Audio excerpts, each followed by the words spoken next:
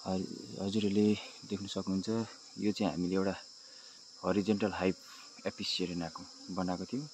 र यसमा चाहिँ एकदमै तपाईँको यसमा नभएको तिस हजार मौरीको जनसङ्ख्या छ। र यसमा चाहिँ एकदम हेभी कोलोनी छ तपाईँले यहाँ देख्न सक्नुहुन्छ है। यो हरिजेन्टल हाइपमा चाहिँ हामीले पन्ध्रवटा रिड जाने बनाएको छौँ। र यसलाई हामीले बादमा हनी पनि हामीले यसबाट धेरै मात्रामा हार्भेस्ट गर्न सक्छौँ। र हामीले यसलाई डिभाइड गर्नु पऱ्यो भने पनि हामीले यसलाई दुईवटा स्ट्रङ कोलोनी बनाउन सकिन्छ। तपाईँले यहाँ देख्न सक्नुहुन्छ हामीले सिजनमा चाहिँ कसरी मौरीहरू डेभलप गर्ने भन्दा चाहिँ यो खालको डो एकदम हरिजेन्टल बनायौँ भने चाहिँ हामीलाई है मौरी बढाउनु र मौरीलाई है ग्रोथ गराउनुको लागि चाहिँ एकदमै सजिलो हुन्छ। तपाईँले यहाँ देख्न सक्नुहुन्छ यहाँ टक्कै पन्ध्रवटा फ्रेम छ यसमा।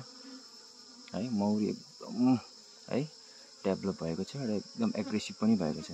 किनभने जति बेसी मौरी भयो उति एग्रेसिभ हुन्छ है। तपाईँले देख्न सक्नुहुन्छ। यो प्रकारले हामीले डुँडहरू बनाएर मौरीहरूलाई हामीले यसरी डेभलप गर्ने गर्दछौँ।